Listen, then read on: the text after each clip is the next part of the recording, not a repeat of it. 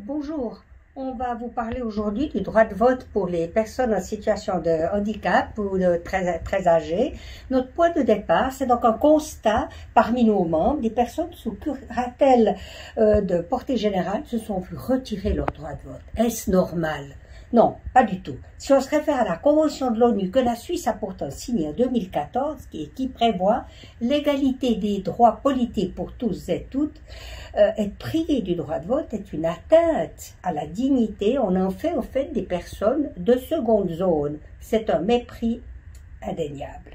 Dire que ces personnes ne comprennent pas tous les enjeux d'un vote ou qui peuvent se faire influencer ne justifie pas de leur enlever ce droit de vote.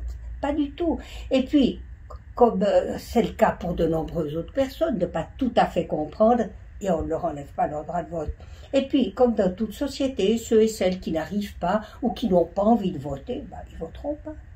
Mais à part le canton de Genève, vous avez d'ailleurs pu constater ce magnifique vote qui s'est fait en, en, novembre dernier, où près 75% de la population a accepté de réhabiliter ses droits civiques.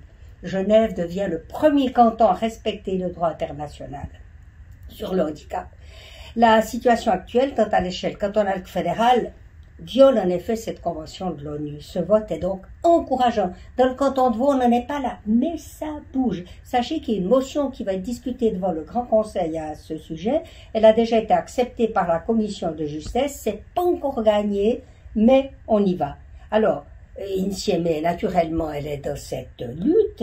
On a eu beaucoup de discussions avec le motionnaire. Un courrier a été fait pour la conseillère d'État en charge du dossier. Nous voulions absolument lui faire comprendre que nous, Insieme, nous préparons des dossiers pour ces personnes. Nous faisons des cours, des, des cours discussions pour leur apprendre à voter.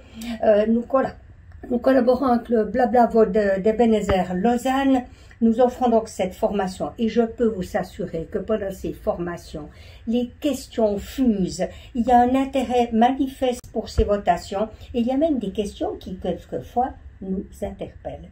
Je pense alors que peu de citoyens ou citoyennes seront préparés aussi bien que ces personnes et je peux vous assurer qu'elles y tiennent et nous avec. D'ailleurs, nous continuerons de vous donner des nouvelles sur ce sujet fort intéressant. Merci.